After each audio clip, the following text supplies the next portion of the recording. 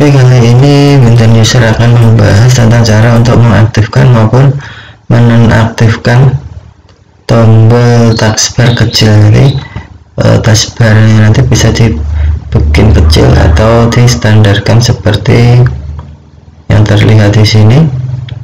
Oke caranya kita masuk ke taskbar setting. Caranya pada taskbar ini kita klik kanan. Setelah itu klik pada taskbar settings. Di sini ada uh, menu use small taskbar button. Kita klik sampai berwarna abu-abu atau sampai uh, on apa huruf atau off ini berubah menjadi on. Ini untuk menggunakan use small taskbar button. Ini jadi kecil kalau di off kan itu menjadi normal kembali.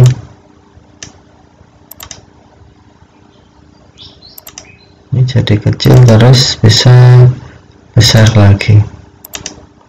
Oke demikianlah cara untuk uh, mengaktifkan maupun menonaktifkan uh, ukuran uh, kecil pada taskbar mohon maaf jika ada yang kurang berkenan jangan lupa tonton video kami yang lain terima kasih